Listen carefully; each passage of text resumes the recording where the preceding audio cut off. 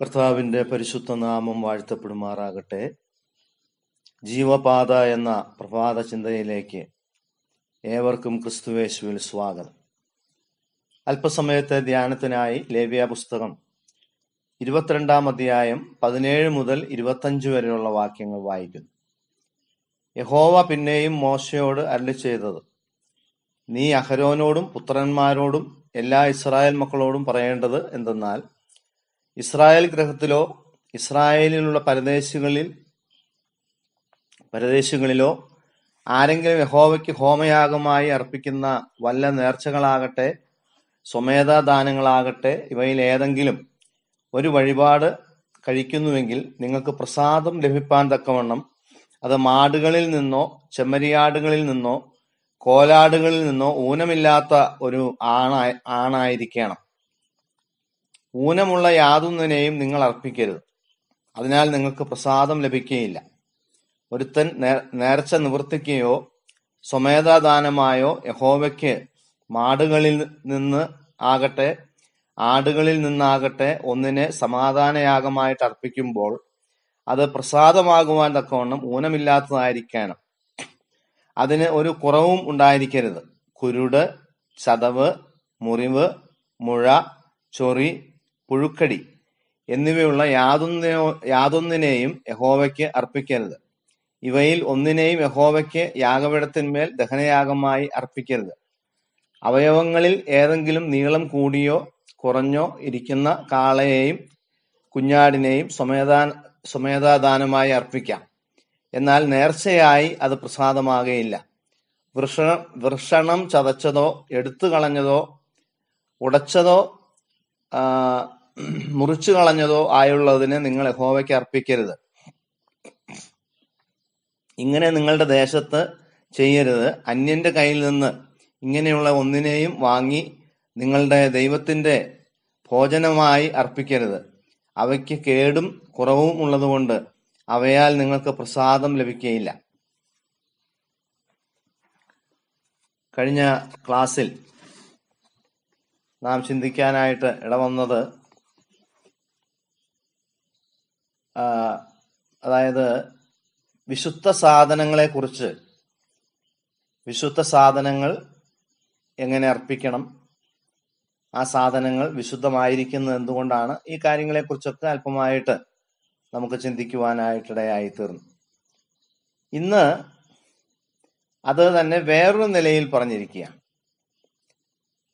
അതായത് ഇസ്രായേൽ മക്കൾ അർപ്പിക്കേണ്ടുന്ന സാധനങ്ങൾ അതായത് മൃഗങ്ങൾ ഒരു വയസ്സുള്ള ആണായിരിക്കണം. അത് യാതൊരു ഊനവുമില്ലാത്തതായിരിക്കണം. അവിടെ ആറുവിധ ഊനങ്ങളെ കുറിച്ച് കുറവുകളെ കുറിച്ച് നാം കാണുന്നുണ്ട്. കുരുട് എന്ന് പറഞ്ഞ അന്ധത ചതവ് മുറിവ് മുഴ ചൊറി പുഴുക്കടി. ഇങ്ങനെ ആറുവിധ ന്യൂനതകളെ കുറിച്ച് നമുക്കിവിടെ കാണുവാനായിട്ട് സാധിക്കും. ഞാൻ ഈ വേദഭാഗം വായിച്ചുകൊണ്ടിരുന്നപ്പോൾ പെട്ടെന്ന് മലാഹിയിലേക്ക് എന്റെ ശ്രദ്ധ ഒന്ന് തിരിയാനായിട്ടിടയായി. മലാഹി പ്രവചനം ഒന്നാമധ്യായത്തിന്റെ ഏഴും എട്ടും പതിനാലും വാക്യങ്ങൾ വായിച്ചാൽ അവിടെ നമുക്ക് വളരെ രസകരമായ ഒരു കാര്യം കാണുവാനായിട്ട് സാധിക്കും. നിങ്ങൾ എന്റെ യാഗപീഠത്തിന്മേൽ മലിനഭോജനം അർപ്പിക്കുന്നു. എന്നാൽ നിങ്ങൾ ഏതിനാൽ ഞങ്ങൾ നിന്നെ മലിനമാക്കുന്നു എന്ന് ചോദിക്കുന്നു യഹോവയുടെ മേശ നിന്ദ്യം എന്ന് നിങ്ങൾ പറയുന്നതിനാൽ തന്നെ. ഇനി പ്രത്യേകം ശ്രദ്ധിക്കണം. നിങ്ങൾ കണ്ണുപൊട്ടിയതിനെ യാഗം കഴിപ്പാൻ കൊണ്ടുവന്നാൽ അത് ദോഷമല്ല. നിങ്ങൾ മുടന്തും ദീനവുമുള്ളതിനെ അർപ്പിച്ചാൽ അതും ദോഷമല്ല. അതിനെ നിന്റെ ദേശാധിപതിക്ക് കാഴ്ചവെക്കുക. അവൻ പ്രസാദിക്കുമോ?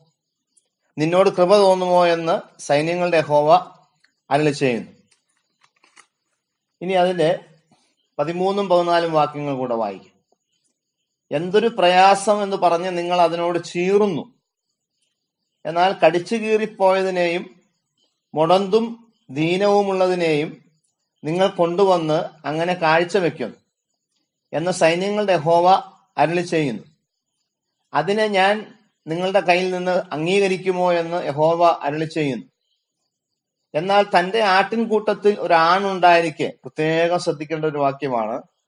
തന്റെ ആട്ടിൻകൂട്ടത്തിൽ ഒരു ആണുണ്ടായിരിക്കെ കർത്താവിന് നേർന്നിട്ട് ഊനമുള്ള ഒരു തള്ളയെ യാഗം കഴിക്കുന്ന വഞ്ചകൻ ശപിക്കപ്പെട്ടവൻ. ഞാൻ മഹാരാജാവല്ലോ. എന്റെ നാമം ജാതികളുടെ ഇടയിൽ ഭയങ്കരമായിരിക്കുന്നു എന്ന് സൈന്യങ്ങളുടെ യഹോവ അരളി ചെയ്യും നോക്കുക. തങ്ങളുടെ ആട്ടിൻകൂട്ടത്തിൽ നല്ല ചൊറിയുറുക്കുള്ള യാതൊരു ഊനവുമില്ലാത്ത ഏ പ്രായം കുറഞ്ഞ ഇളം ആടുകൾ ഉള്ളപ്പോൾ തള്ളയെയാണ് അവർ യാഗം അർപ്പിക്കുന്നത്. അതുപോലെ അതുപോലെ കുരുടും മുടന്തും ദീനവും ഉള്ളതിനെ യാഗം അർപ്പിക്കും അവിടെ ഹോവ ചോദിച്ചൊരു ചോദ്യം നിങ്ങൾ കണ്ടോ? ഇത് നീ ദേശാധിപതിക്ക് അർപ്പിച്ചു നോക്കിക്കേ. നിന്റെ ദേശാധിപതി അല്ലെങ്കിൽ ഗവർണർ നിന്റെ ഗവർണർക്ക് അവൻ അർപ്പിച്ചു നോക്കി അവൻ പ്രസാദിക്കൂ. എന്ന് പറഞ്ഞ അതിന്റെ അർത്ഥം എന്താ? ആ ഗവർണർക്ക് കൊടുക്കേണ്ട വില പോലും നിങ്ങൾ എനിക്ക് തന്നിട്ടില്ല. ഒന്ന് ആലോചിച്ച് നോക്കി. ഏ? അവരുടെ ഗവർണർക്ക് കൊടുക്കേണ്ട വില പോലും യഹോവയായ ദൈവത്തിന് അവർ കൊടുക്കുന്നില്ല അത് കണ്ടിട്ട് ഹൃദയം നൊന്താണ് ദൈവം ഈ കാര്യം അവരോട് പറയുന്നത്. നമ്മുടെ ജീവിതത്തിൽ നാം മനസ്സിലാക്കേണ്ടതായ ഒരു ഒരു കാര്യം. പുരോഹിതൻ ശാരീരികമായി ഊനമില്ലാത്തവനായിരിക്കുന്നത് പോലെ തന്നെ അവൻ അർപ്പിക്കുന്ന യാഗങ്ങളും ഊനമില്ലാത്തതായിരിക്കണം.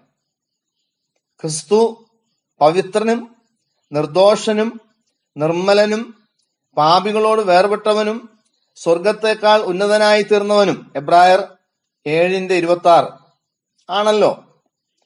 അപ്പോൾ യേശു ക്രിസ്തു അങ്ങനെയുള്ള ഒരാളായ ആയതുകൊണ്ട് അതിന്റെ നിഴലായി അർപ്പിക്കുന്ന ഈ അർപ്പ അർപ്പണങ്ങളെല്ലാം എങ്ങനെയായിരിക്കണം? എങ്ങനെയായിരിക്കണം? അത് യേശുക്രിസ്തുവിനെ പോലെ തന്നെ ഊനമില്ലാത്തതായിരിക്കണം. അല്ലെങ്കിൽ എങ്ങനെ ഈ യാഗങ്ങൾ യേശുക്രിസ്തുവിന്റെ നിഴലായി തീരും? മനസ്സിലായോ?